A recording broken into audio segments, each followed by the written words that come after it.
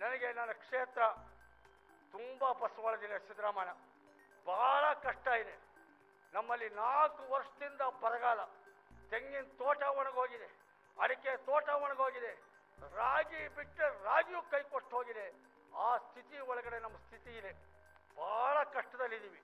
ನಮ್ಮ ಇಡೀ ರಾಜ್ಯದಲ್ಲಿ ನೀವೇ ನನಗೆ ಉತ್ತರ ಕೊಟ್ಟಿದ್ದೀರಿ ಸರ್ಕಾರದ ಪರವಾಗಿ.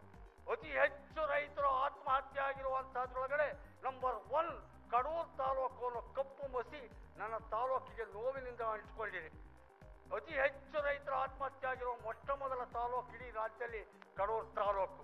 ಕಾರಣ, ನೀರಿಲ್ಲ, ಕೆರೆಗಳು ಬತ್ತು ಹೋಗಿದೆ. ನಮಗೆ ಒಂದೇ ಒಂದು ಆಸರೆ, ಶಾಶ್ವತ ನೀರಾವರಿ ಯೋಜನೆ ಆದರೆ ಮಾತ್ರ, ಕೆರೆಗಳು ತುಂಬಿದರೆ ಮಾತ್ರ ನಮ್ಮ ರೈತರು ಬದುಕ್ತಾರೆ. ಇಲ್ಲ, ಆತ್ಮಹತ್ಯೆಯ ತಾಣವಾಗುತ್ತೆ ಕಡೂರು. ಆ ಕಾರಣಕ್ಕೆ ನಾನು ನಿಮ್ಮಲ್ಲಿ ಕೈ ಮುಗಿದು ಕೇಳ್ಕೊತೀನಿ ನಾವು ಹೆಬ್ಬೆಯಿಂದ ಮದಗದ ಕೆರೆ ತುಂಬಿಸ್ಬೇಕು ಅಂತ ಹೇಳಿ ಹಿಂದೆ ಕೆ ಎಂ ಕೃಷ್ಣಮೂರ್ತಿ ಅವರು ಇದ್ದಾಗ ಪ್ರಾರಂಭಿಕವಾದಂಥ ಯೋಜನೆ ತಯಾರಾಯಿತು. ಆದರೆ ಹೆಬ್ಬೆ ಒಳಗಡೆನಲ್ಲಿ ಸಾಕಷ್ಟು ತಾಂತ್ರಿಕ ಅಡಚಣೆಗಳು, ಸುಪ್ರೀಂ ಕೋರ್ಟಿನ ಗ್ರೀನ್ ಬೆಂಚು ಆಗದೇ ಇಲ್ಲ ಅಂತ ಹೇಳ್ತು.